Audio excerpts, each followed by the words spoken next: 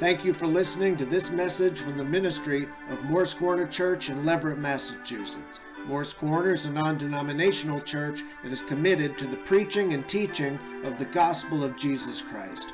Our church was founded in 1896 by two students of the famous evangelist D.L. Moody. We seek to encourage and edify the body of Christ through the proclamation of God's Word through the ministries of the local church. If you'd like more information, visit our website, morsecornerchurch.com. We hope you enjoy the message. Turn, if you would, to the Gospel according to Matthew chapter 3. Matthew chapter 3, and the title of this morning's message is Following Christ the baptism of Jesus. So, the reason why Christians are baptized is not only because Christ tells us to be baptized, but also he led by example. Christ himself was baptized. Now, you might think that Jesus wouldn't need to be baptized, and that's exactly what John the Baptist thought. When Jesus comes to John and asks to be baptized, John's response is, Why? You should be baptizing me, if anything. But Jesus responded and told him basically, this needs to be done in order to carry out all that God requires. So let's begin reading Matthew 3 1 through 6, and then we'll skip down to verses 13 through 17. This is the word of God. In those days, John the Baptist came preaching in the wilderness of Judea and saying, Repent, for the kingdom of heaven is at hand. For this is he who is spoken of by the prophet Isaiah, saying, The voice of one crying in the wilderness, Prepare the way of the Lord, make his paths straight. And now John himself was clothed in camel's hair, and a leather belt was around his waist, and his food was locusts and wild honey. Then Jerusalem, all Judea, and all the region around the Jordan went out to him and were baptized by him in the Jordan, confessing their sins. Now skip to verse 13. Then Jesus came from Galilee to John at the Jordan to be baptized by him. And John tried to prevent him, saying, I need to be baptized by you, and you are coming to me? But Jesus answered and said to him, Permit it to be so now, for thus it is fitting for us to fulfill all righteousness. Then he allowed him. And when he, that is Jesus, had been baptized, he came up immediately from the water, and behold, the heavens were opened to him. And he saw the Spirit of God descending like a dove and alighting upon him. And suddenly a voice came from heaven, saying, This is my beloved Son, in whom I am well pleased. So let's get some of the basic information uh, out up front.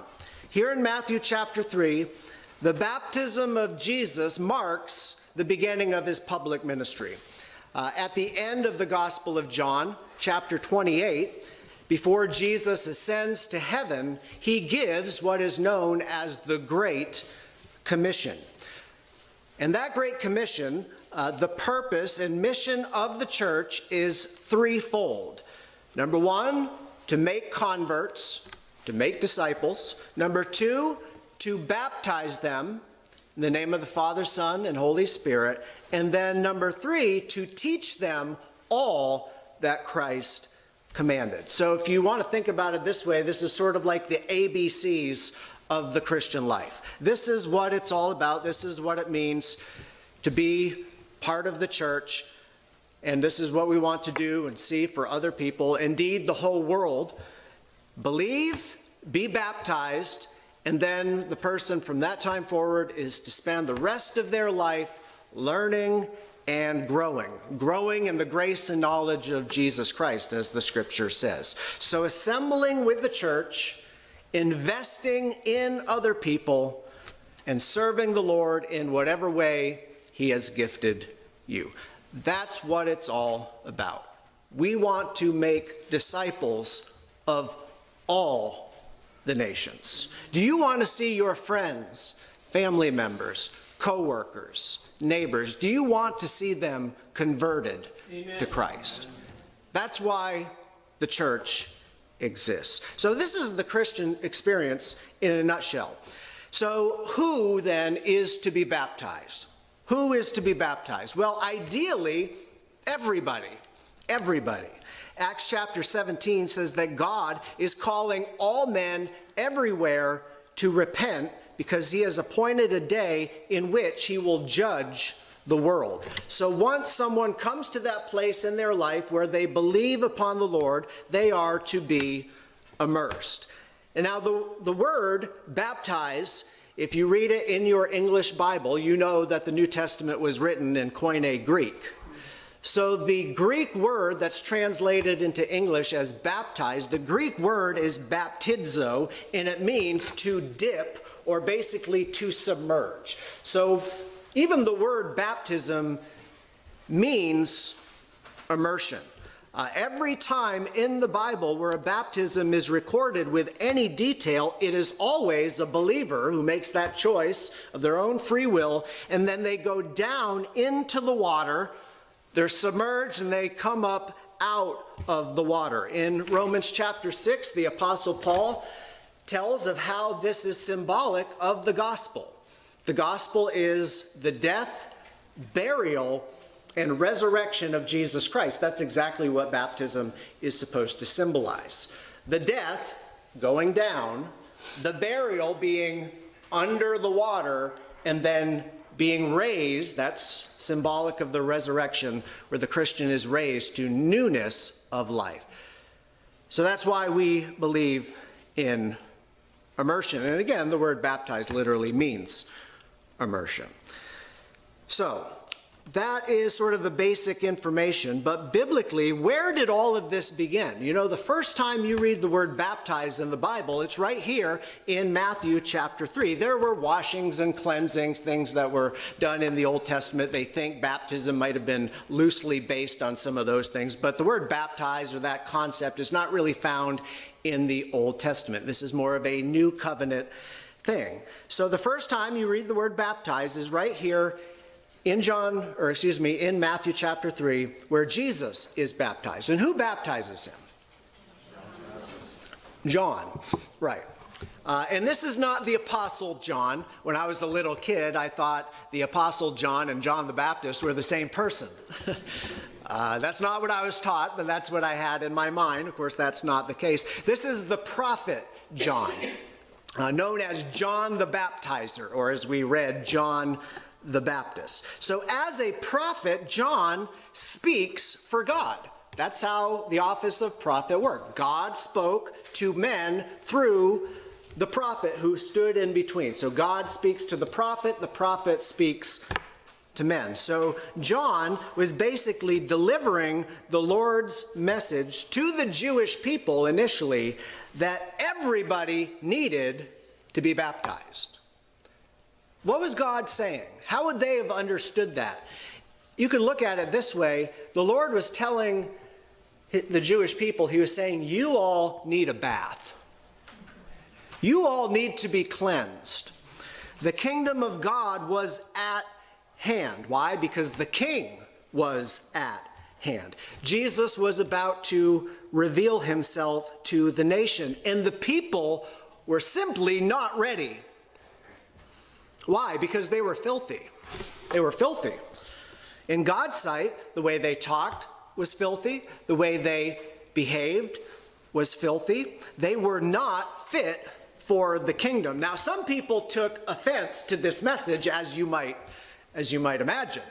Uh, who are those who took offense? Well, it was the religious people. It was the scribes. It was the Pharisees, those who were in religious authority. The idea that we are not ready, that we are unclean, this was offensive to them. Why? Because the Pharisees, if we know anything about the Pharisees and the scribes, we know, according to Jesus, they were self righteous. They wouldn't recognize their faults. They didn't even think they needed to be saved. We're Jewish, we're okay just because of our lineage. But that wasn't true.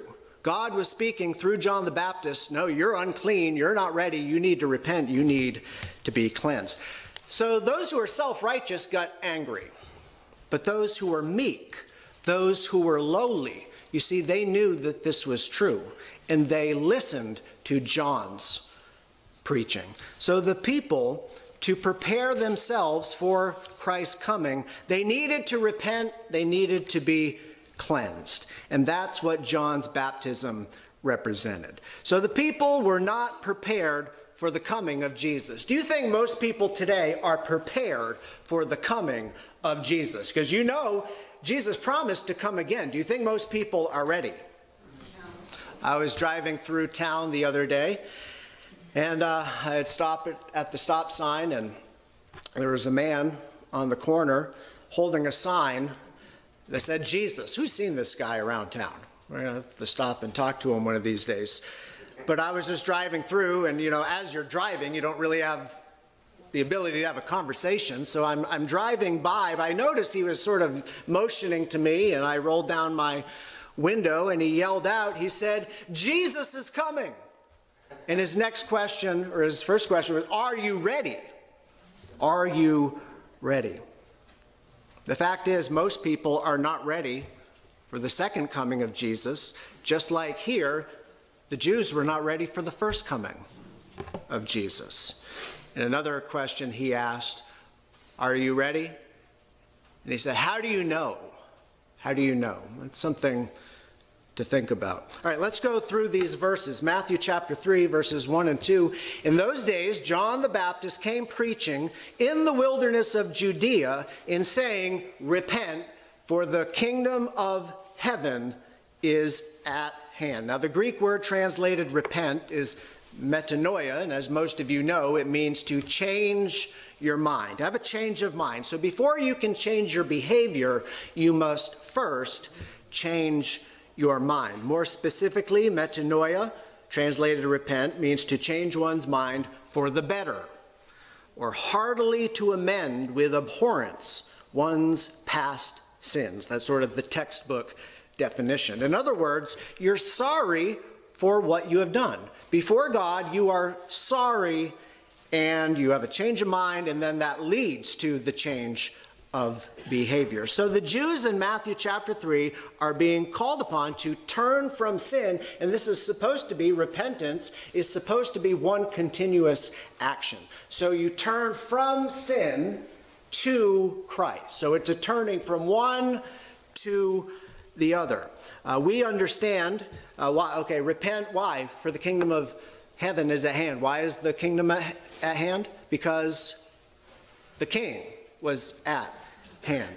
We understand, I think, when a king, or these days when a president travels, uh, they send someone on ahead to go before them, right? A, a king or a president just doesn't show up somewhere. Uh, that would be beneath him to just show up someplace. So that's not the case. Uh, a king will send a, a, team ahead to sort of lay the groundwork, and that's what John the Baptist did for Jesus. John was the forerunner of the King of Kings. Not only was Jesus prophesied about, the people were waiting for him and looking for the Messiah, John was also prophesied about.